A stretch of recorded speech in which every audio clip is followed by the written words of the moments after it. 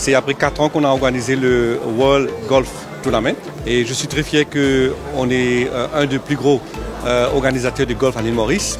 Comme témoignage, c'est les, participants qui ont vraiment été vraiment euh, épanouis et ils ont, ils ont remercié Maurice Télécom pour cet événement. je suis très content d'être le gagnant aujourd'hui. J'avais un bon groupe d'amis qui étaient là. Ils ont adoré. Le temps était avec nous. On a eu une bonne ambiance. On a eu 104 participants. Je trouve que ça a été une journée, euh, allons dire, parfaite et une grande réussite.